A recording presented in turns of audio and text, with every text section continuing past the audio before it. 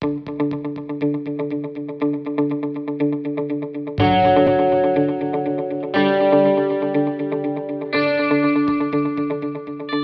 En los tiempos que estamos viviendo ahora de alta incertidumbre en el comercio internacional, justamente una de las herramientas, de los mecanismos más importantes para la integración y avanzar en el crecimiento económico son las cadenas globales de valor. Las economías como las latinoamericanas se insertan en la parte baja de las cadenas, es decir, somos proveedores de materias primas, pero somos bajas en proveer bienes intermedios que son los que básicamente le otorgan valor a la producción. Y es por ello que hacer estrategias que nos permitan encadenarnos productivamente con los países de la región también salir hacia terceros mercados, como principalmente los países asiáticos, es una herramienta que no podemos dejar de usar para el crecimiento económico y básicamente para aumentar las exportaciones con valor de nuestra economía.